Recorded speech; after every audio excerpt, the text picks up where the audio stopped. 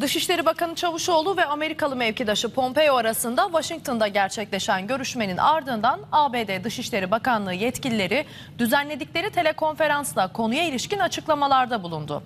Münbiç Anlaşması'nın ne kadarlık bir süreye yayılacağı konusunda net açıklama yapmaktan çekinen yetkililer sürecin adım adım ilerleyeceğinin altını çizdiler. ABD'li yetkililer terör örgütü PKK'nın Suriye uzantısı YPG'nin Fırat Nehri'nin doğu tarafına geçeceğini belirtti. Amacın bölgede istikrar sağlamak olduğuna vurgu yaptı.